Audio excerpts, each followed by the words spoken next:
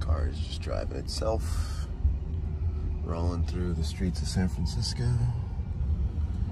Just chilling in the back. It's doing a good job.